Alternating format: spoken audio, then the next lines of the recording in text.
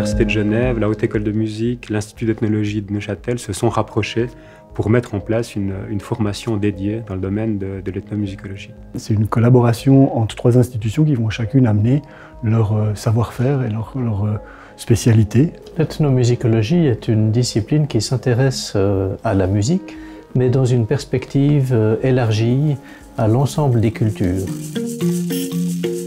Le master consiste à, un enseignement de différents aspects de l'ethnomusicologie. Ça va des aspects théoriques de l'histoire de la discipline jusqu'à des aspects beaucoup plus pratiques. La grande force de notre master, c'est d'être profondément transdisciplinaire. À part égale, les étudiants doivent avoir un regard théorique sur les rôles sociaux de la musique, être capable d'interpréter ces structures et être capable de jouer par eux-mêmes. Faire de la musique pour mieux la comprendre. C'est ce qu'on cherche à, proposer et, qui nous démarque aussi de d'autres centres comme Nice, Paris. Le programme est conçu sur deux ans. La première année euh, est une sorte de socle de, euh, de base dans, dans, les aspects disciplinaires et méthodologiques de l'ethnomusicologie. À la deuxième année, on va pousser nos étudiants à aller sur le terrain justement. Donc ils partent 4 à 6 mois, et puis en revenant, ils vont rédiger un rapport de stage d'abord, ou un rapport de terrain, et puis un mémoire sur le sujet qu'ils auraient choisi d'étudier sur le terrain. Théoriquement, euh, les études en ethnomusicologie s'adressent à trois profils d'étudiants, donc qui viendraient de l'ethnologie, de l'ethnomusicologie ou du conservatoire.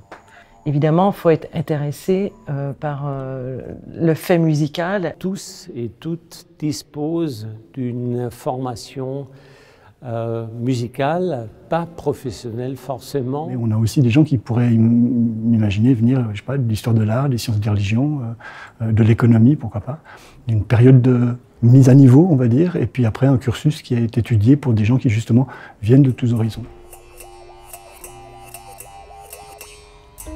Il n'existe pas de formation similaire en Suisse. Genève est une place euh, de rencontre entre des musiciens de partout qui viennent s'y produire et qui, qui viennent donner des enseignements également. Les débouchés, ils peuvent être, comme dans toutes les sciences anthropologiques ou sociologiques, réellement très très larges. Il y a évidemment tout ce qui est média. Tout ce qui relève de la médiation culturelle, qui est vraiment quelque chose qui se développe maintenant euh, à la fois dans les institutions culturelles, les écoles, mais aussi le, social. Il semblerait que la pratique musicale soit quelque chose d'absolument vital au fonctionnement des sociétés humaines. Et donc quand on cherche à mieux comprendre les sociétés humaines, de choisir la musique ou une pratique que l'on peut appeler musique, finalement, on a accès euh, à, des tas de pans de la société, que ce soit la religion, l'économie, euh, la philosophie, la spiritualité, euh, même l'intimité avec les berceuses. voilà.